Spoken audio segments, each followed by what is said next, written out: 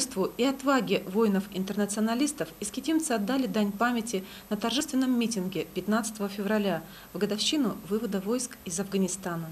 15 февраля 1989 года последний бронетранспортер с советскими военнослужащими пересек мост через реку Амударью, по фарватеру которой проходит граница с Афганистаном. Именно этот день стал днем памяти для всех воинов-интернационалистов, участвовавших в урегулировании военных конфликтов на территории ближнего и дальнего зарубежья.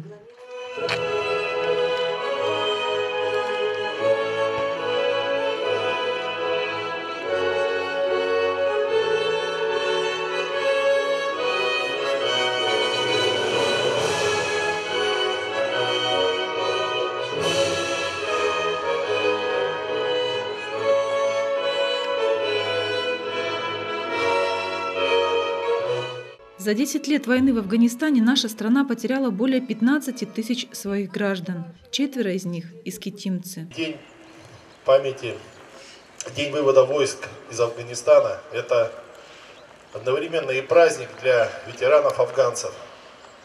И в то же время это день памяти и скорби о тех, кто погиб, выполняя свой служебный долг, день памяти и скорби о воинах-интернационалистах. В нашем государстве всегда с почетом и уважением относились э, к ветеранам-афганцам. И, наверное, наибольшую значимость этот праздник приобретает именно в этом году. В году, когда мы все отметим с вами столетие образования Красной Армии, образования столетия Российской Армии. Потому что те события, которые происходят сегодня в мире, они еще раз подтверждают, что для того, чтобы Россия могла защищать свои интересы на мировой арене, чтобы с нами считались в мире, чтобы нас уважали, нам нужна боеспособная, сильная армия. Конце 70-х, начале 80-х годов прошлого столетия самым страшным словом для матерей, провожавших сыновей в армию, было слово «Афганистан». Кто-то из служивших там вернулся домой с правительственными наградами. Другие были просто рады вернуться. Многим не повезло. Они погибли в той страшной войне. И не зря, наверное, вот эта дата, 15 февраля, она занесена в календарь как одно из знаменательных дат нашей страны. Каждая война, она имеет свое начало, имеет свой конец.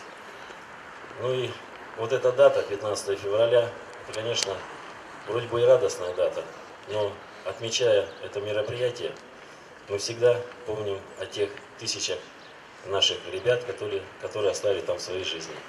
Поэтому я хочу тем, кто остался жив и находится в строю, пожелать здоровья, мирного неба и счастья. А тем, кто оставил свои жизни на полях сражений, вечную память.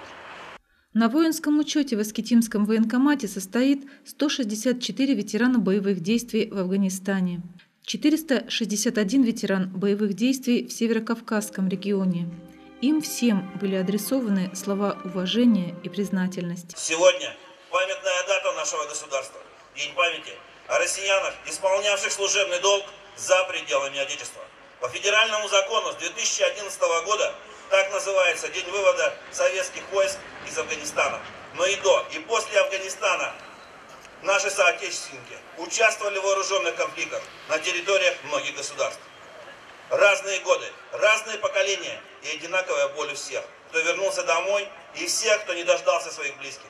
Сегодня на государственном уровне признаны заслуги наших воинов, выполнивших интернациональный долг, Боевой армейский опыт важен тем, кто сегодня с оружием в руках выполняет задачи по защите Отечества.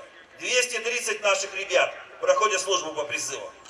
Он нужен как пример патриотизма молодому поколению, как напоминание об исторической роли русского солдата. Очень важно, что сегодня вы сумели не только сберечь узы воинского братства, но и укрепили их гражданской жизни.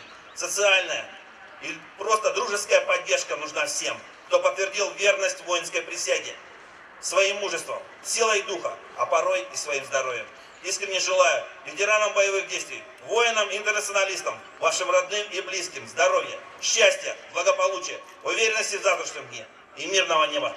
Минутой молчания почтили присутствующие на митинге воинов-интернационалистов, погибших в Афганистане. Долгой вереницей люди несли живые цветы к памятнику, установленному в их честь возле военкомата. Мои года служил как раз, именно как раз началась эта заварушка. Тяжело это, как говорится, воспринимать, когда, как говорится, убивают твоих друзей, это очень тяжело. Есть кто вернулся живой, слава богу. Ну, Царствие Небесное, кто не вернулся, тем особенно очень тяжело. Это не, я не могу даже пересказать это, что как вот материал мы постоянно ходим, вот 15 февраля поминаем пацанов. И 2 августа у нас есть такое обычай, что мы ходим матерей встречаешь, ну, просто нету слов им, чтобы им там высказать как-то, что или помочь. Такого ну, тяжело, конечно, переносится. Почетный караул школы ДСАФ с достоинством нес в этот памятный день вахту. Все чаще молодежь, равняясь на своих доблестных земляков, выбирает профессию защищать Родину. У нас э, в городе Искитиме, в Искитимском районе функционирует несколько общественных организаций, э, достаточно таких э, серьезных, именно в военно-патриотической направленности. То есть это у нас и воины-афганцы, региональное отделение действует. У нас также есть воины-десантники, воины-пограничники. То есть э, ребята у нас они работают и в школах города Искитима, и в школах Искитимского района проводят уроки мужества, а приходят к нам военный комиссариат. Вот э, мы вели такую традицию при первоначальной постановке граждан на воинский учет. У нас приходят ребята, а, служившие вооруженных силах Российской Федерации а, воины, афганцы э, приходят и рассказывают ребятам о службе в вооруженных силах, рассказывают о том, как они проходили военную службу. Это у нас уже происходит около пяти лет. Я бы вот хотел подвести общие результаты. У нас получается, если в 2012 году а, у нас желающих поступать в высшее военное учебное заведение было 6 человек на город Искитим и Искитимский район. Сегодня у нас, вот уже на сегодняшний день, хотя официально еще не объявили о том, что проводится набор, он начнется с апреля. Но уже предварительно у нас 31 человек подали заявку на поступление в высшее военное учебное заведение Министерства обороны Российской Федерации. А, к этому всему можно прибавить тот факт, что у нас очень много желающих стать офицерами девушки. То есть э, не только юноши, но и девушки пишут заявление о поступлении в высшее военное учебное заведение. Мужество русских воинов во все времена ставили в пример. Помня историю России, потомки будут достойны своих дедов и прадедов, защитников. В то время идеология другая была. Мы, кроме одной идеологии защищать Родину, мы не знали. Это сейчас можно и за деньги. Это мы тут раз нас призвали, мы пошли.